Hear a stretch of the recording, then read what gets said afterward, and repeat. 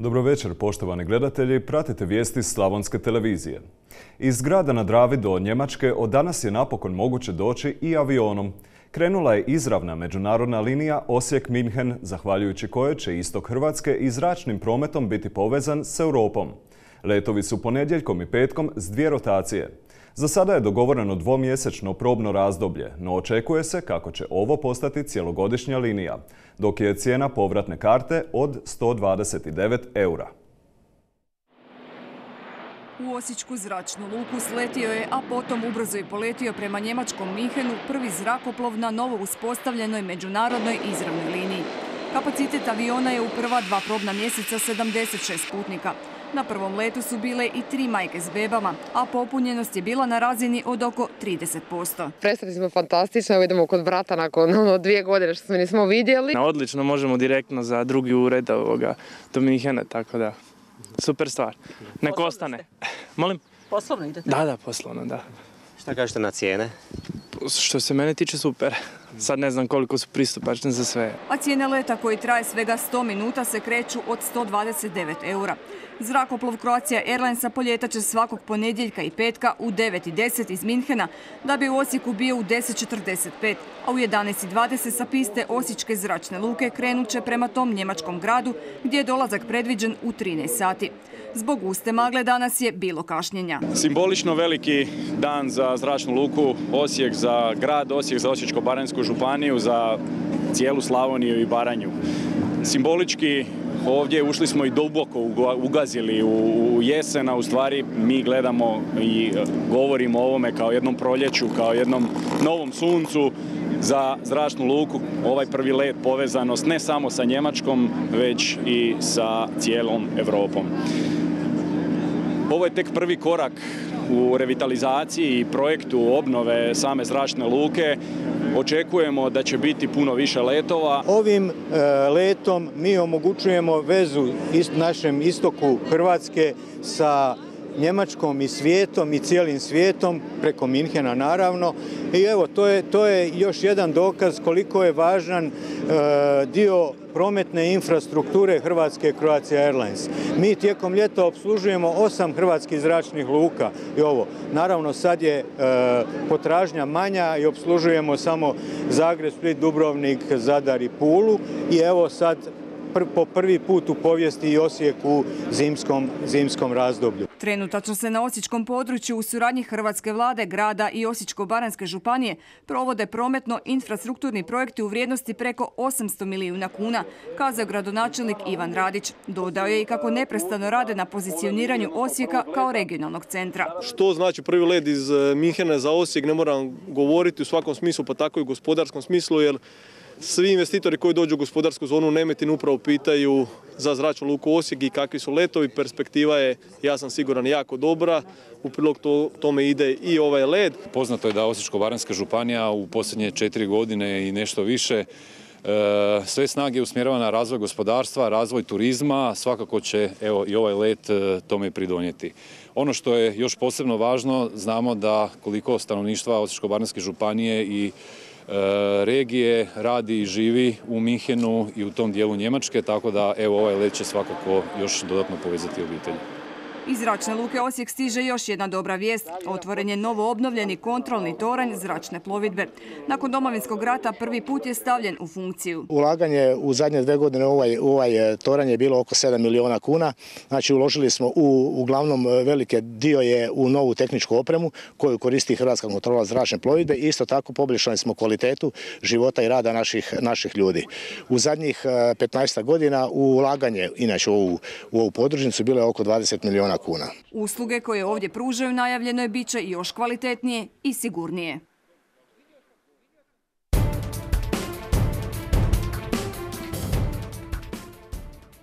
U posljednja 24 sata na području Osječko-Baranjske županije zabilježeno je 35 novih slučajeva zaraze koronavirusom od 256 obrađenih uzoraka. Hospitalizirano je 137 pacijenata, od kojih je 25 u respiracijskom centru. Nažalost, preminule su dvije osobe iz Antunovca i Osijeka u dobi od 53 te 91 godine. U samoj izolaciji se nalazi 808 osoba. Nastavljamo s vijestima. Domovinski pokret protivi se nasilnom uvođenju cijepljenja i neustavnom ucjenjivanju građana COVID potvrdama od strane stožera i vlade. Podsjećaju na deklaraciju Vijeća Europe o pravu izbora i najavljuju kako će tražiti da se odluke stožera izglasaju u Hrvatskom saboru dvotrećinskom većinom. Sabor je taj koji mora donositi odluke o mjerama koje izlaze iz stožera, kaže saborski zastupnik domovinskog pokreta Stipo Mlinarić. Sabor je e, zakonodavno tijelo najviše u Hrvatskoj i mislimo da take restriktivne mjere koje se ograničava prava ljudima na posao i na ulaske u bilo kakve institucije, da to treba ipak Sabor doneti dvotrećinskom većinom. Domovinske pokret će na tome inzistirati. Mlinarić podsjeća i na poruke potpore hrvatskih biskupa građanima koji se ne žele cijepiti te da se ne stvaraju nepotrebne podjele među ljudima. Nama su 1991. godine u Vukovaru značili i liječnici i naši doktori koji su liječili u Vukovarskoj bolnici, ali značila nam je i krunica koju smo nosili oko vrata, značila nam je i vjera i molili bi da ne zbunjuju javnost, da ne, da ne pravimo svađe između takve dvije e, rekao bi institucije koje e, hrvatskom narodu puno znači. Zamjenik predsjednika domovinskog pokreta Mario Radić podsjeća i na deklaraciju Vijeća Europe o pravu na informiranje o cijepljenju i slobodi izbora. Ja bih podsjetio sve ovdje prisutne da je Hrvatska članica Vijeća Europe, da trenutno ima predsjednicu Vijeća Europe, Marija Burić Pečinović i da su to rezolucije koje bi se trebali neki način i povinovati. S druge strane, pozivam također sve institucije Hrvatske da omogući svima onima koji se žele cijepiti da se cijepe. Postoje sela kojima nije dostupna ta mjera, ali isto tako da se svima koji se ne žele cijepiti da ih se ne prisiljava. Radić upozorava i na nesuvislost odluke stožera obveznim potvrdama u državnom sektoru dok se privatnom samo preporuča. Kaže kako je i sam dio zdravstvenog sustava dijelom u privatnom vlasništvu. I što se tiče tih e, testova, dobro znamo svi skupa da i cijepljeni i necijepljeni prenose virus.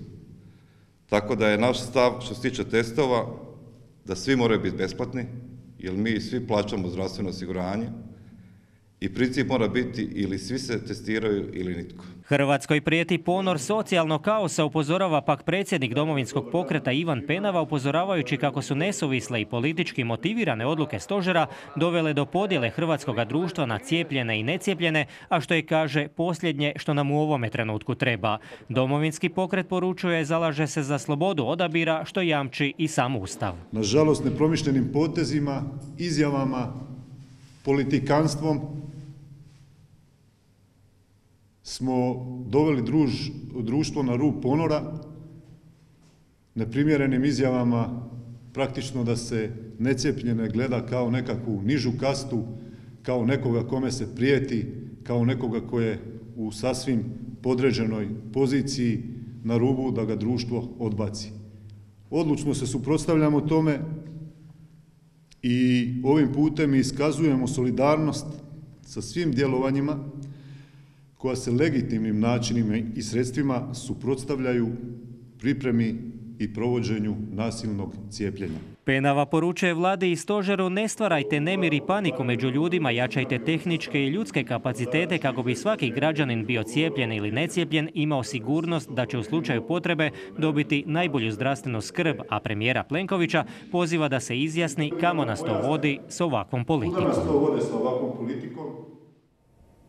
Dio studenata Osječke akademije za umjetnost i kulturu danas je ispred zgrade rektorata prosvjedovao protiv odluke o uvođenju COVID potvrda koje će za njih biti obvezne od idućeg ponedjeljka. Skupilo se više od 300 studenata koji su jasno i glasno poručili nećemo COVID potvrde.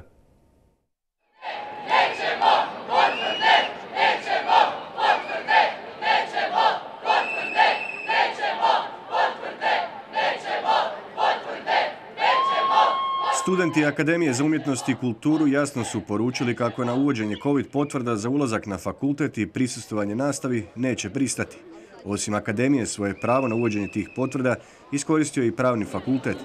Ove studente vijest koju su primili u petak razočarale. Moj općeniti stav u COVID potvrdi je da je totalno nepotrebna, da nas e, diskriminira, da nas odjeljuje na one koji imaju COVID potvrde i one, koji nemaju COVID potvrde i smatram da se radi o velikoj diskriminaciji, a naš faks e, se promovira kao fakultet e, koji ne diskriminira, nego prihvaća, kreativan je, podupire nas, a sada je s ovim pokazao da to nije. Tristotinjak studenata izišlo je danas pred rektorat, a stava su kako ima i onih koji se slažu s njima, ali na prosvjed nisu došli. Kao recimo naš predsjednik studentskog zbora koji daje podršku iz Erasmusa u Rumunjskoj, ovaj, tako da ima puno više ljudi koji nisu ovdje jer, jer se boje šta će se dogoditi. Ali meni e, za tjedan dana ističe ovaj, jel, moj moje obrazovanje ako ne dobijem tu potvrdu ako se ne cijepim, ali ja neću da, da se mene ovaj, da mi se prijeti. Zapjevali su studenti i otvor ženo kapiju kao i Gaudeamus Igitur. Dekanici su poručili kako je jednom odlukom uspjela ujediniti ovoliko studenata. Visoka učilišta sama mogu odlučiti o tome hoće li uvesti potvrde ili ne, a studenti poručuju kako je odluka diskriminatorna i kako su ogorčeni. Postavlja se pitanje je li donošenjem nove odluke prekršena odluka akademije, ugovor o studiranju članak 7 kojim se akademija obvezuje studentu osigurati završetak studijskog programa. Na naše mail adrese stalno pristižu poruke s tablicama u kojima je potrebno napisati ime, prezime, podatke o tome jesmo li cijepljeni ili nismo, jesmo li preboljeli COVID ili nismo, Referade i akademe nisu naši liječnici i nemaju pravo na uvid u naše osobne zdravstvene podatke. Studenti su poručili kako će prosvjedovati i sutra, a što će biti od ponedjeljka ovisi isključivo o upravi akademije. Mišljenje studenata čuli su. A COVID potvrde uvode se od sutra i u sustav Osječko-Baranjske županije i grada Osijeka. O tome tko će kontrolirati te potvrde, kao i o testiranju, pojasnili su načelnik županijskog stožera i zamjenik gradonačelnika Osijeka. Biti ili ne biti, odnosno ući ili ne moći. Pitanje koje će idućih dana dobiti svoj odgovor. Necijepljeni i oni koji se ne budu testirali tri puta tjedno, bili oni zaposlenici javnog sustava ili korisnici njegovih usluga, a to su u Hrvatskoj u širem smislu svi, u institucije i druge javne ustanove više neće moći. Stanje u Osječko-Baranjskoj županiji objasnio Mato Lukić, načelnik stožera civilne zaštite i zamjenik župana. Voditelji odjela će kontrolirati svoje djelatnike, da kako imat ćemo e, tablicu u kojoj su unešeni djelatnici koji su se cijepili, dakle imaju COVID potvrdu zbog cijepljenja, isto tako oni koji su preboljeli, a ove potvrde koje će trebati donositi svaki drugi dan će kontrolirati voditelji odjela. Što se tiče stranaka koje dolaze e, konkretno u Osječko-Baranjsku županiju, E, na samom ulazu će po njih doći osoba kod koje su oni najavljeni ili kod koje je dogovoren sastanak. Organiziranje testiranja u javnom sustavu obveza je poslodavca, a dogovorena je cijena od 50 kuna po testu. U sustavu županije od 7000 ljudi nešto više od 1000 trebalo bi se testirati. Platit će se to javnim novcem, no oni koji budu trebali usluge sustava test će morati platiti sami. Što se tiče broja punktova na području Osječko-Baranjske županije, siguran sam da će ih biti dovoljno. Ja sam sad spomenuo E, Dom zdravlja Osječko-Baranjske županije, nastavni zavod i opću županijsku bolnicu, čiji je osnivač Osječko-Baranjska županija. U svakom trenutku možemo povećati i smanjiti e, broj punktova. Dom zdravlja, znate i sami da su e, ordinacije, odnosno lokacije Doma zdravlja na 74 mjesta u županiji, 74 lokacije, tako da je u svakom trenutku možemo povećati. Što se grada Osijeka tiče, u čijem je sustavu zaposleno 4000 ljudi, oko 900 će trebati testiranje. I taj broj će se, očekujemo, značajno smanjivati u danima e, koji dolaze, jer, kažem, dosta njih je i pristupilo, odnosno e, išlo se cijepiti, ali su u iščekivanju onoga propisanog roka da mogu dobiti e, COVID potvrdu. Naglašeno je kako su ovo odluke s nacionalne razine koje moraju poštovati i provoditi, no na pitanje znali se što će biti potrebno postići za ukidanje COVID potvrda, Odgovor nisu imali.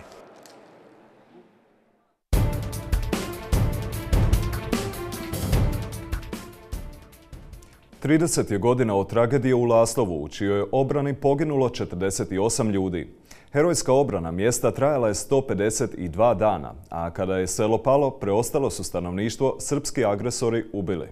I ove godine tužnu i bolnu uspomenu na sve žrtve i poginule branitelje obilježit će njihovi sumještani i branitelji iz cijele zemlje.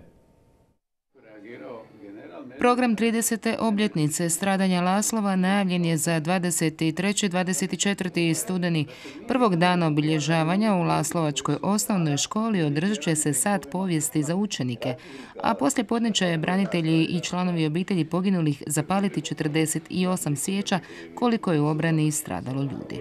Dan poslije središnji dio programa. Oko 11 sati i 45 minuta očekuje se dolazak maratonaca u Laslovo. Kolona sjećanja do parka hrvatskih branitelja kreće malo iza podneva. Očekujemo opet veliki broj branitelja. Tu će nam djeca iz osnovne škole prijediti jedan kratak program. Udruga žena Ružman iz Laslova će otpijati himne i Hrvatsku i Mađarsku. Očekujemo nekoga da će se pojaviti iz Zagreba. Najvjerojatnije ministar hrvatskih branitelja i potpredsjednik vlade. Ovi se danas posebnim pijetetom prisjećamo strašne žrtve koje je podnijelo naše selo. U Lastovu je poginulo 48 branitelja. Danas imamo 45 umrlih branitelja nakon 96. godine, znači završetka Domovinskog rata. To ti je brojka 93. Za jedno takvo mjesto to nije zbog toga da se mi sad hvalimo s tim, nego da samo opišemo koliko je to žrtve. A o žrtvi koju su podnijeli Laslovčani u obrani svoga doma, branitelji svake godine pričaju s osnovnoškolcima. Ono što su teža pitanja koja postavljaju, interesantno, to sve mala djeca, E, ovaj, da li smo se bojali, e, ka, šta smo radili sa ranjenicima, e, kako to da smo krenili u proboj, taj dio malo nije jasan pa smo to razjasnili da smo četiri dana bili u okruženju, da nismo imali više s čim se boriti, posebno ne protiv oklopa, tako da evo, ovaj, tako, ima jako puno pitanja i iz godine u godinu oni to proširuju. Pa se jedan školski sat često pretvori i u dva i tri, jer priča o Laslovu i hrabrosti njeni branitelja i svih mještana ne može se ispričati u tako malo vremena. U procesu izrade je bitka za Vukovar, prva hrvatska računalna igra. Smisao iste je očuvanje istine o domovinskom ratu i približavanje hrvatske povijesti novijim generacijama. Bitka za Vukovar naziv je prve hrvatske ratne igrice u kojoj će mlađe generacije saznati kako je 1863 branitelja 88 dana branilo Vukovar. U tom projektu sudjeluju mladi kreativci iz cijele Hrvatske. U ovoj igri Bitka za Vukovar proći ćemo više bitaka i probat ćemo napraviti igru zajedno sa Hrvatima iz cijeloga svijeta koja će biti edukativna, koja će biti potpuno istinita. E, likovi koji sudjeluju u igri su naši e, branitelji Vukovara, mnogi od njih su nažalost i poginuli. E, prvi level igre biti će upravo posvećen našem heroju Luki Andrijaniću koji je oborio prva dva neprijateljska zrakoplova 24. kolova za 1991. godine. Proširenjem igrice, osim bitke za Vukovar, bit će dostupne i bitke vezane za gradove Dubrovnik, Karlovac, Gospić te oslobodilačke operacije do kraja domovinskog rata. Mi želimo stvoriti jedan autentičan hrvatski proizvod, nešto što će prikazati žrtvu i patnju hrvatskih branitelja. Ehm, dakle, to je dužnost i mlađih generacija kako bi ehm, zahvalili na ovoj domovini koju imamo. Ehm, igrica će naravno biti što više autentična moguća pokušat ćemo stvoriti nešto što će biti zaista jedinstveno u čitavom gaming svijetu. Za razliku od drugih igara, ova će biti potkrepljena povijesnim činjenicama. Biti će prikazani svi detalji i to prema svjedočanstvima preživjelih branitelja. Ono što je vrlo bitno vezano za ovu igru, to je ogroman jedan posao. Stvarno, posao koji koji istiskuje velike, velika sredstva i velike veliki, ajmo reći, e, vremenski tijek. Znači, zbog toga treba veliki broj volontera, odnosno treba će tu i profesionalaca kako bi ta igra zaživjela na jednoj visokoj razini. Priča je istinita, priča je ono što je grad Vukovar obilježio, a to je da grad Vukovar i bitka za grad Vukovar je bitka koja se uči diljem svijeta. Prva verzija igrice mogla bi biti dostupna za godinu dana, a njezina puna verzija za najmanje 3 do 4 godine.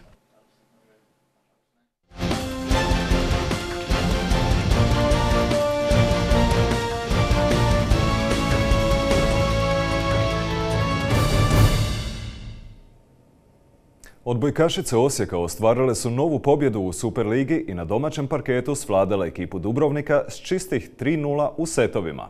Bila je to četvrta pobjeda Osjećanki s kojom su skočile na peto mjesto na ljestvici. Odbojkašice Osijeka imaju najmlađu ekipu u ligi, ali igra im je zanimljiva, kvalitetna i borbena i četiri pobjede do sada su sigurno za respekt. Protiv Dubročanki nije smjelo biti opuštanja bez obzira što su one na posljednjem mjestu na ljestvici, a pokazalo se kako su sve utakmice u samoj igri po setovima dosta izjednačene. Osjećanke u tamnoj opremi ipak su sva tri seta riješile u svoju korist, iako nije bilo posve lagano. No sigurna razlika od 25-20 u prvom i trećem setu te malo teži posao u drugom kada je bilo 25-22 pokazuje ipak sigurnost domaćih djevojaka koji su se pokazale dosta smirene i samouvjerene u završnici setova. Osjećanke čak i nisu kompletne jer im nedostaju neke igračice, a kada svoje redove popune i još se dodatno uigraju, sigurno će biti opasnost svim ekipama u ligi. Što se tiče toga što su zadnje na ljestvici, definitivno nismo pocijenjivali ekipu. Znači, šta smo 100% utakmicu, dale sve od sebe i evo, uspjeli smo 3-0 pobjeti i sva tri boda odnijeti kući. Da, vidi se se borite za svaki poen i ako vodite, imate visoku razliku, znači nema preda i nema opuštanja. Pa naravno, zato što svakom eto, poenu se može dogoditi neki preokret, pa ne damo do tog, znači držimo i eto, ne damo. Moramo biti e, zadovoljni rezultatom. E, tri boda smo osvojili što nam je bilo jako bitno. Dubrovnik je ekipa koja je prošlo kolo uzeo bod Dinamo koji je jedan od, jedna od tri najjače ekipe u ligi trenutno. Tako da u svakom slučaju velika doza opreza za vrijeme utakmice je bila i pogotovo što smo ovaj tjedan praktički na tri različita terena imali treninge sticajem okolnosti. Osjećanke su iako mlade dosta samouvjerene i vjeruju u plasman u gornjem domu ljestvice, što bi zasigurno bio velik uspjeh za klub. Ja bi eto možda rekla među prve četiri, jer definitivno možemo, možemo svakako. Tako da eto, očekujemo što bolji rezultat. Mislim, s obzirom da smo najmlađa ekipa, vjerovatno, mislim da to možemo. Drago mi je da tako cure razmišljaju i trudimo se i radimo koliko se da. Nikad sigurno od mene neće čuti da, da nekome se predajemo unaprijed ili tako šta. Kad znam da su manje, ne manje više, nego sve ekipe su padale tu u Osijeku bilo da je muška odbojka ili ženska odbojka u pitanju. Tako da drago mi je da čujem taj optimizam što si mi rekao od Marije i evo dok nam se priključi njezina seka koja je malo bolesna, budemo kompletni i budemo još na malo višem nivou. Nakon sedam odigranih kola na ljestvici Super Lige vode Marina Kaštela i Zagrebačka mladost s maksimalnim učinkom, Osijek je peti sa četiri pobjede i tri poraza. A u sljedećem kolu mlade Osjećanke igraju u gostima kod Dinama, koji je četvrta ekipa lige, a s njim imaju i kup susret u Osijeku prije tog prvenstvenog dvoboja. Nakon sporta pogledajmo i kakvo nam vrijeme donosi prva polovina tjedna u prognozi meteorologa Slavonske televizije Kristijana Božarova.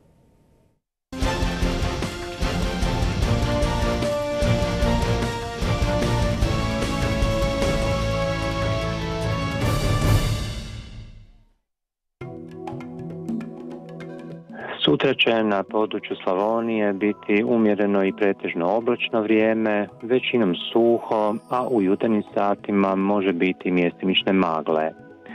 Vjetar slab do umjeren, istočni i jugoistočni, a temperatura zraka ujutro između 3 i 6, dok će poslije podnevna većinom biti između 8 i 11 Celzijevih stupnjeva. U Osijeku i okolici sutra će biti umjereno do pretežno oblačno i većinom suho vrijeme, a u jutarnjim satima ponegdje može biti i prolazne magle. Vjetar većinom do umjeren, istočni i jugoistočni, a temperatura zraka ujutro uglavnom između 3 i 5, dok će najviša dnevna biti između 8 i 11 stupnjeva. U srijedu i dalje se nastavlja većinom suho vrijeme uz dosta oblaka, tako da će i dalje biti umjereno do pretežno oblačno. E, može prije podne biti i nešto kraćih sunčanih razdoblja, a kasno poslije podne i na večer ponegdje može pasti i malo kiše. Vjetar uglavnom slab, istočni i sjeveroistočni, a temperatura zraka uglavnom će se kretati ujutro između 4 i 7 stupnjeva, dok će najviša dnevna biti između 8 i 11. četvrtak donosi oblačno vrijeme, mjestimično s kišom i uz slab sjeverni i sjeveroistočni vjetar. Temperatura zraka se neće bitno mijenjati, tako da će jutarnje vrijednosti uglavnom biti oko 5 ili 6 stupnjeva, a najviša dnevna između 8 i 10.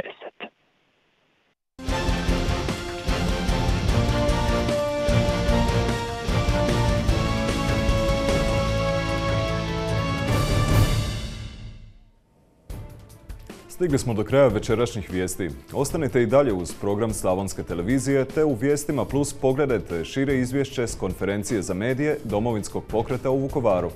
Hvala vam na pozornosti i doviđenja.